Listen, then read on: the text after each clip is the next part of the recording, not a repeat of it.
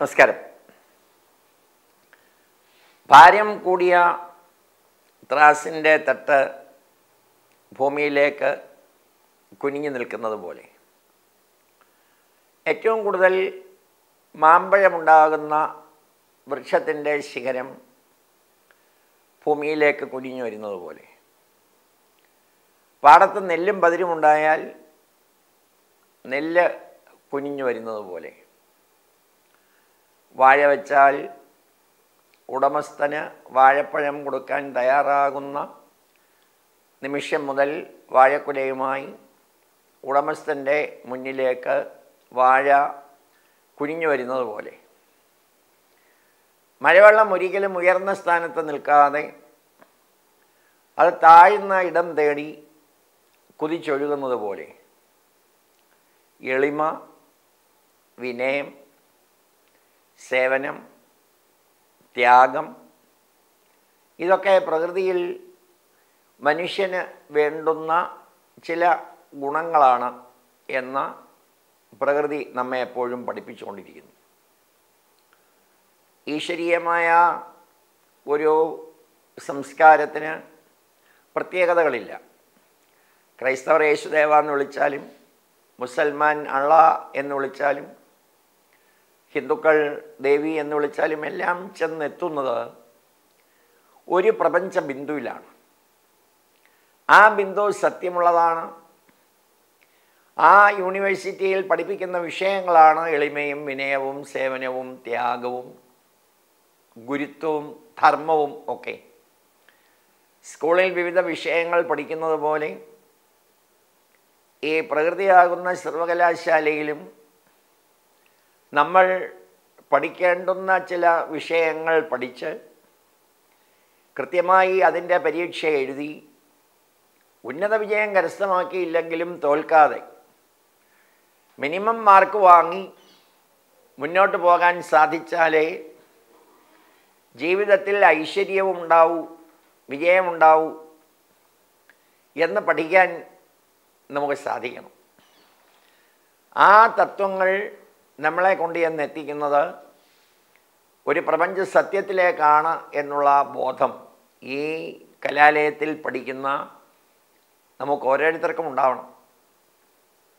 ഓസ്ട്രേലിയയിൽ നിന്ന് വന്ന വാട്ടർ വേണം എന്ന് പറഞ്ഞാലും തമിഴ്നാട്ടിൽ നിന്ന് വന്ന തണ്ണി വേണം എന്ന് പറഞ്ഞാലും മഹാരാഷ്ട്രയിൽ നിന്ന് വന്ന പാനി വേണം എന്ന് പറഞ്ഞാലും തിരുവനന്തപുരത്ത് നിന്ന് വന്ന് വെള്ളം വേണം എന്ന് പറഞ്ഞാലും കേരളത്തിലെ ഒരു കടയിലിരിക്കുന്ന കുടത്തിലെ വെള്ളമാണ്. നാല് പേർക്കും ആ കടയുടെ ഉടമസ്ഥൻ നാല് ഗ്ലാസ്സിൽ പകരുന്നത് എന്നതുപോലെ. ക്രൈസ്തവനായാലും മുസൽമാനായാലും ഹിന്ദു ആയാലും കോൺഗ്രസ്സുകാരനായാലും കമ്മ്യൂണിസ്റ്റുകാരനായാലും ബി ജെ പിക്കാരനായാലും അതൊക്കെ പ്രാഥമികമായ വിജയത്തിനോ ഐശ്വര്യത്തിനോ മനുഷ്യന് ആക്കം കൂട്ടുന്നതല്ല. അതൊക്കെ വസ്ത്രം ധരിക്കുന്നത് പോലെ വിവിധ ഭക്ഷണം പല ആളുകൾ ഇഷ്ടപ്പെടുന്നത് പോലെ ഉള്ളതാണെന്ന് ചിന്തിക്കാൻ നമുക്ക് സാധിക്കും.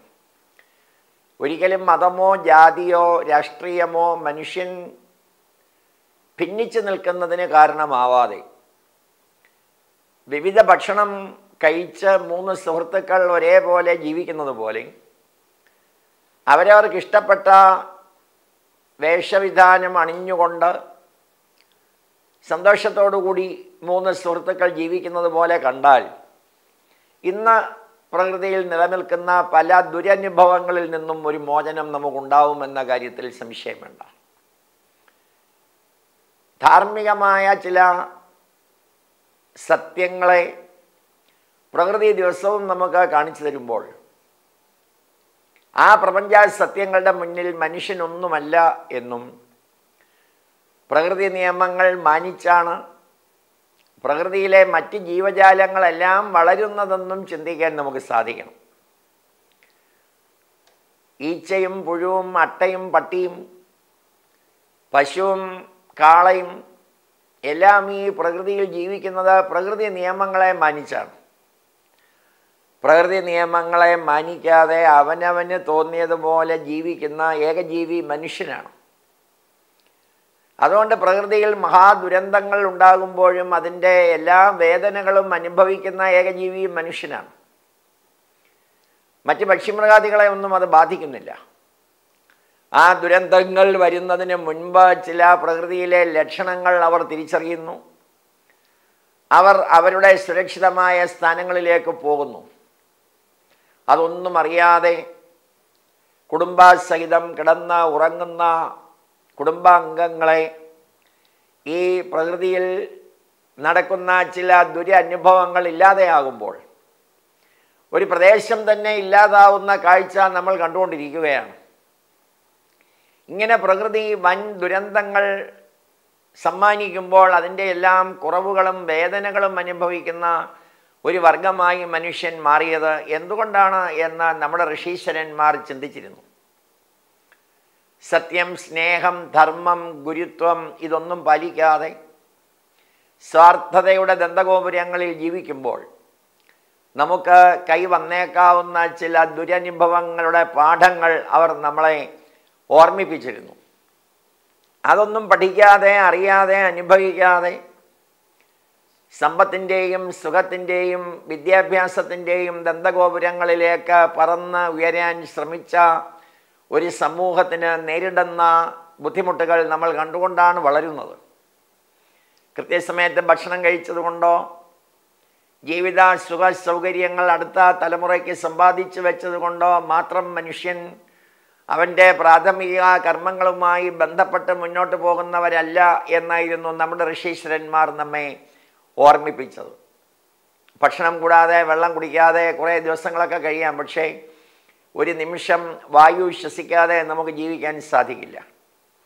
ആ വായു പ്രകൃതിയിലെ സകല ജീവജാലങ്ങൾക്കും നൽകുന്നത് ഒരു പ്രപഞ്ച സത്യമാണെന്ന് ചിന്തിച്ച് എല്ലാവരെയും സ്നേഹിക്കാനും അപ്പുറത്തെ വീട്ടുകാരനും നമ്മുടെ കുടുംബത്തിലെ അംഗമാണെന്നും വേൾഡ് ഈസ് വൺ ഫാമിലി വസുദ്ധൈവ കുടുംബകം എന്ന് ചിന്തിക്കാനും നമ്മളെ പ്രേരിപ്പിച്ച നിരവധി ഉത്തരവാദിത്വ ബോധത്തോടെയുള്ള കർമ്മങ്ങളുടെ മഹത്തരങ്ങളായ ദർശനങ്ങൾ നമുക്ക് പകർന്നു നൽകിയ ഗുരുക്കന്മാർ നമ്മുടെ മുന്നിൽ നിലനിൽക്കുകയാണ്.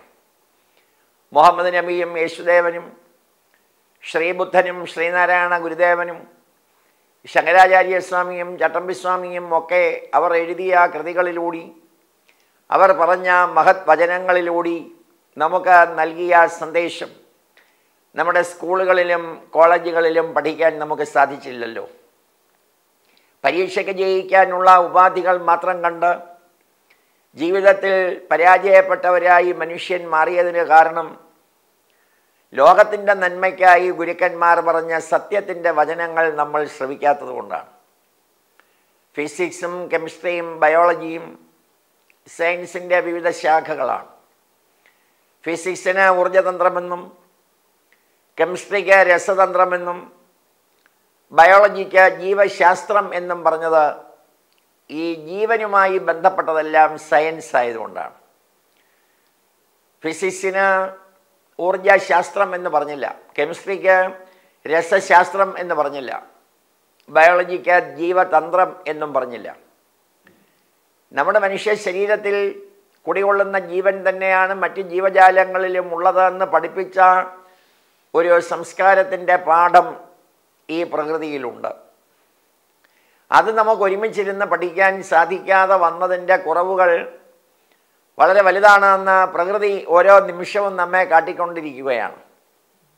അറിയാൻ അനുഭവിക്കാൻ അനുസരിക്കാൻ ചിന്തിക്കാനൊക്കെ പ്രേരണ നൽകുന്ന മഹത് വചനങ്ങളൊക്കെ നിസ്സാരമായി കണ്ട് താൽക്കാലികമായ പലതിന്റെയും പിന്നാലെ പ്രയാണം ചെയ്തതിന്റെ കുറവുകൾ വന്നു ഭവിച്ചത് മനുഷ്യന് മാത്രമാണെന്ന് ചിന്തിക്കാൻ നമുക്ക് സാധിക്കണം.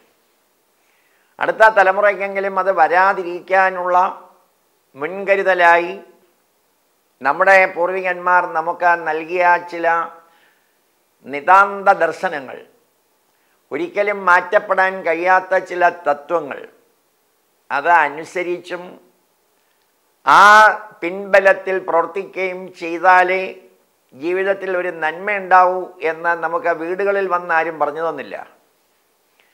നമ്മൾ ഒരുമിച്ച് കൂടുന്ന ആൾക്കൂട്ടങ്ങളിലും സ്നേഹത്തിന്റെയും സത്യത്തിന്റെയും സ്ഫുരണങ്ങൾ നമുക്ക് പകർന്നു തരാൻ ആരും സമയം കണ്ടെത്തിയില്ല.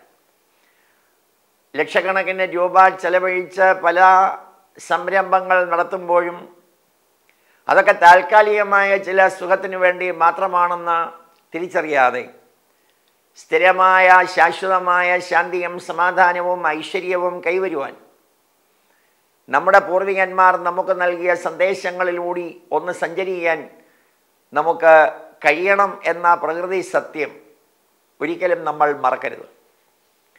ഗ്രന്ഥങ്ങളിലൂടെയും ഉപദേശങ്ങളിലൂടെയും അവർ നമുക്ക് പകർന്ന സത്യത്തിന്റെ ചിന്താധാര ഒരു കാരണവശാലും നമുക്ക് മാറ്റിവെക്കാൻ കഴിയാത്തതാണെന്ന് തിരിച്ചറിയുന്ന ഒരു സമൂഹം നിശ്ചയമായും ഈ പ്രകൃതിയിലുണ്ട്.